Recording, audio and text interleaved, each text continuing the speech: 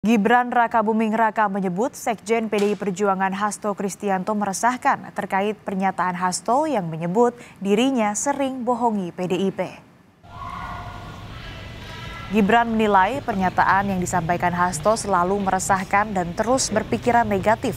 Padahal Gibran menyebut dirinya selalu berpikir positif terutama soal silaturahmi pasca Pilpres berbanding terbalik dengan Hasto.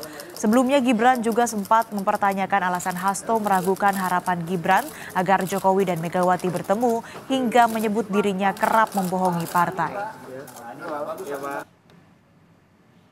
Sering bohong ke PDIP. Ini gimana mas? ya Pak Hasto kan bahasanya selalu gitu ya meresahkan hmm.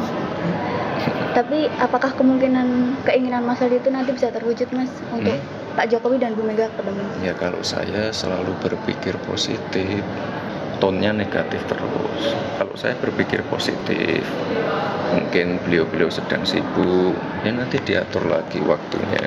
Itu. ya.